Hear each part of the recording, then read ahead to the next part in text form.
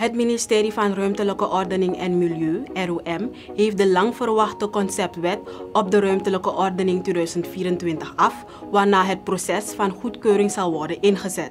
Voorafgaand aan dit proces heeft het ministerie dit wetsproduct in een informatiesessie op dinsdag 12 maart gepresenteerd aan stakeholders in de ballroom van het Lalaroek-gebouw.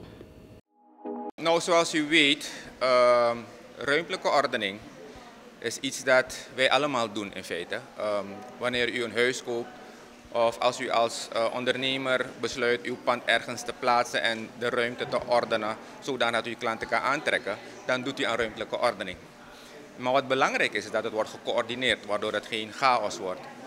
Uh, de huidige ruimtelijke ordening is gebaseerd op een wet die dateert van de jaren 70, dat is de stedenbouwkundige wet.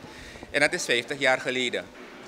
En uh, na 50 jaar zijn de behoeftes van ons, de ambities van de mens, veranderd. En daarmee moeten we rekening houden. Dus deze wet uh, moet ervoor zorgen dat we met een x aantal regels de ruimte, de fysieke ruimte plantmatig moeten inrichten. En dit uh, hebben wij sinds ik op school zat geprobeerd aan te passen of met een nieuwe wet te komen.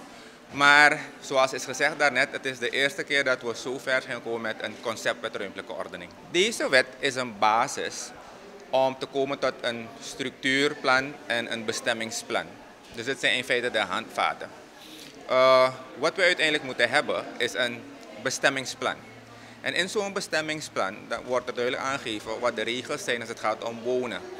Uh, zoals u weet, als u ergens woont, heeft u niet alleen maar de behoefte om in het gebied te wonen, maar u wilt ook recreëren. Er zijn een heleboel gebieden die geen uh, ontspanningsmogelijkheden hebben. Als het gaat om ondernemen, willen we zeker weten hoe we het best de verschillende sectoren kunnen faciliteren. Uh, nu komen we uit die crisis en er is een enorme behoefte voor uh, economische ontwikkeling. En het gaat over verschillende sectoren. Het gaat over de energy sector, het gaat over de agrarische sector, die in feite heel wat land nodig heeft om uh, te planten, uh, landbouw uit te oefenen. We moeten minder afhankelijk zijn van de import, men. En men moet gaan ontwikkelen. Maar hoe doe je dat? Hoe faciliteer je dat? En dan heb je nog een heleboel andere uh, mining, oil en gas die straks komt. Maar als, als al deze sectoren in feite die behoefte hebben voor land en ze allemaal land gaan gebruiken, wat gebeurt er met onze bossen? Toch? Uh, uiteindelijk zitten we met geen bos als we geen rekening houden met de prognose. Uh, dus in feite moet deze wet dan dit alles faciliteren. Spannend. We hebben heel lang gewerkt aan dit concept. We zijn er sinds vorig jaar mee bezig. En het is toch een, een mijlpaal. We hebben vorig jaar, ik denk in september, oktober, een eerste concept naar de stakeholders gestuurd. Daarop hebben we de stakeholders feedback gegeven. En we hebben toen die, die, die uh, feedback verwerkt. En we hebben daarna een tweede concept aan de stakeholders gestuurd. En de presentatie van vandaag ging over die tweede conceptversie. En we hebben een goede opkomst en um, we zijn enthousiast.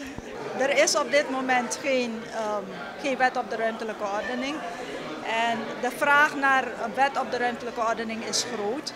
Um, we hebben gezien in die presentatie dat de, er zijn een heleboel wetten en andere regelingen die aspecten hebben van ruimtelijke ordening, maar die zijn, dat, dat is allemaal versnipperd. En er is geen centrale coördinatie wat betreft de ruimtelijke ordening. En deze wet beoogt wel die coördinatie te brengen.